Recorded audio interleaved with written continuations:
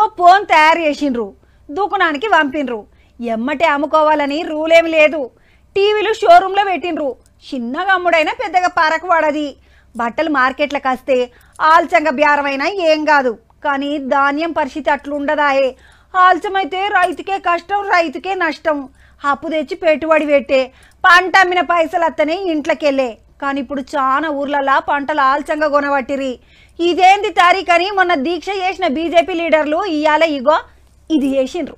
రైతుల గోసను రాజ్భవన్కు పట్టుకపోయారు బీజేపీ లీడర్లు.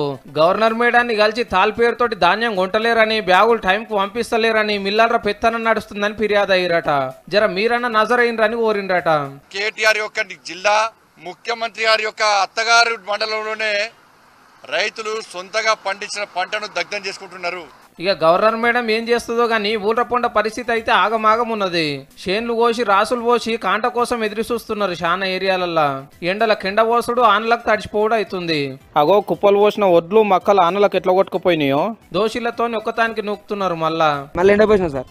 మళ్ళీ దగ్గర కన్నా మళ్ళీ వర్షం వస్తుంది. దీనివల్ల ఏమైతుంది? ఈ కలర్ కూడా షేడ్ అవుతుంది సార్. ఇంకో దిక్కు ఆనలకు ఈదురుగాలకు మామిడికాయలు రాలుతున్నాయి తోటలకు కూలుతున్నాయి పెట్టిన పెట్టుబడి చేసిన కష్టం అంతా ఎట్టిదే అయ్యేటట్టున్నదని ఏడుస్తున్నారు రైతన్నలు. పరిస్థితి ఇట్లున్నది కాబట్టి గవర్నర్ మేడానికి కూడా ఎరక చేసిరన్నట్టు అన్నట్టు.